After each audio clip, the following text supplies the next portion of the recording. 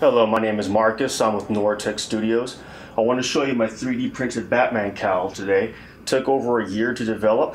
This cowl is actually being developed for a Batman fan film that I am directing that is filmed through the perspective of the Joker. So it's actually much more like a horror movie where Batman is the myth and the shadows that's going to come out to grab you. And so I wanted a completely different type of Batman, um, not only from the way it is the movie is written and the way it's going to be shot, but also the cowl. So um, I was trying to find a very functional and comfortable cowl, and I went through a couple of these. They're twenty or thirty dollars. I went through one of these big floppy things from Jeff uh, Jester Effects. Don't buy from him. And I actually even tried to make something. I made a pretty good prototype that we actually used in the teaser trailer out of a luchador mask.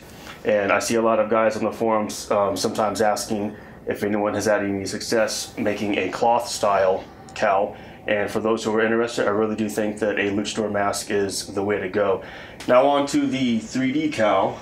I actually got in touch of an artist named Marco Valenzuela. He did some amazing work. We spent about a year actually trying to develop this. And at first he couldn't get the sizing right because he was going purely based on pictures. So he actually pulled in a favor from a couple of friends who scanned my head and then he was able to layer the design of the cowl on top of me so it would have a perfect fit.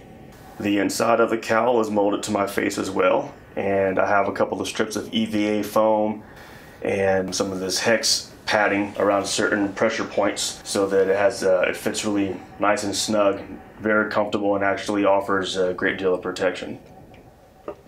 First I put on a lycra hood Then I split open the cowl, put the faceplate on.